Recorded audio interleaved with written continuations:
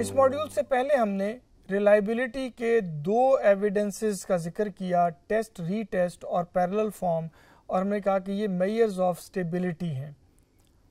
Reliability में दूसरी चीज़ जो हम इंश्योर करते हैं, वो मेयर ऑफ़ इंटरनल कंसिस्टेंसी है।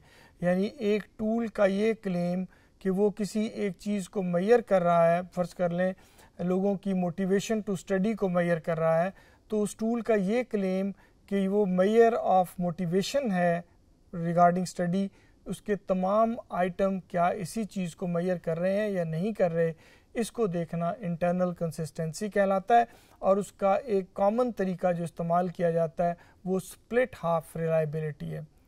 देखिए इसके नाम से ज़ाहिर है। स्प्लिट हाफ़ का मतलब क्या है? आप अपने टेस्ट को दो हाफ्स में तकसीम कर दें।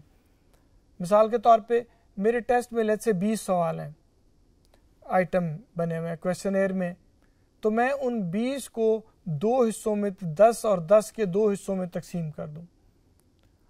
मैंने वो 20 आइटम का एक टूल बनाया, आपसे फिल करवा लिया। जब आपने फिल करके मुझे वापस कर दिया तो मैं उसके आइटम्स के दो हिस्से कर देता हूँ। दस आइटम एक हिस्से में, दस आइटम दूसरे हिस्से में रख लेता हूँ। और पहले दस आइटम्स पे आपका एवरेज स्कोर और दूसरे दस आइटम्स पे आपका एवरेज स्कोर इन दोनों स्कोर्स के दरमियान रिलेशनशिप निकालता हूँ। अगर ये रिलेशनशिप मज़बूत हो स्ट्रांग हो तो मैं ये कहता हूँ कि क्योंकि टेस्ट का पहला हाफ़ भी वही मैयर कर रहा था, जो चीज़ टेस्ट का दूसरा हाफ़ मैयर कर रहा है, लिहाजा इन दोनों में स्ट्रॉन्ग रिलेशनशिप से साबित होता है कि इस टेस्ट के तमाम आइटम असल में एक ही मेन चीज़ को मैयर कर रहे थे, जो थी मोटिवेशन टूवर्ड्स स्टडी सो इस तरीके से आप जब टेस्ट को दो हाफ्स में तकसीम करते हैं तो वो दो हिस्सों में स्प्लिट हो जाता है, दोनों हिस्सों पे रिस्पांस की एवरेज निकालते हैं और उसको आप कहते हैं, मैंने स्प्लिट हाफ़ से मेयर किया। क्या मेयर किया? स्ट्रॉन्ग कोरिलेशन का क्या मतलब था?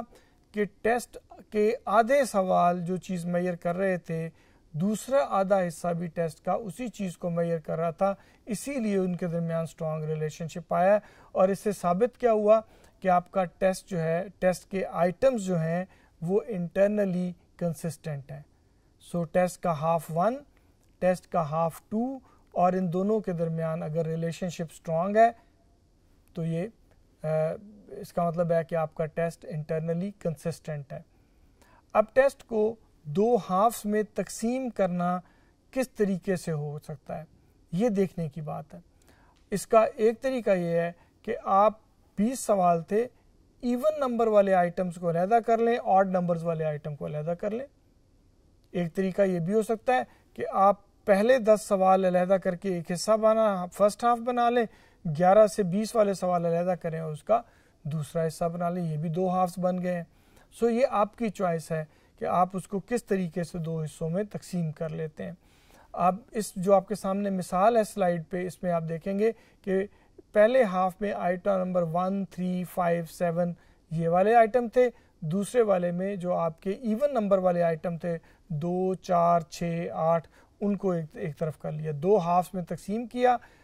आपने पहले हाफ़ वाले आइटम्स पे जो जो जवाब दिए हुए थे लेट से लेकर स्केल था, आपने पहले सवाल पे तीन सेलेक्ट किया, दूसरे पे चार किया, तीसरे पे वन किया, आपने जो जो जो सिलेक्ट किए थे चॉइसेस उन सबको टोटल स्कोर किया तो आपका लेट से स्कोर आ गया फोर्टी दूसरे हिस्से के आइटम्स पे आपने जो चॉइसेस ली थी, उनका स्कोर टोटल किया तो स्कोर आ गया फोर्टी टू फोर्टी और फोर्टी टू के स्कोर के दरमियान हम रिलेशनशिप निकालेंगे.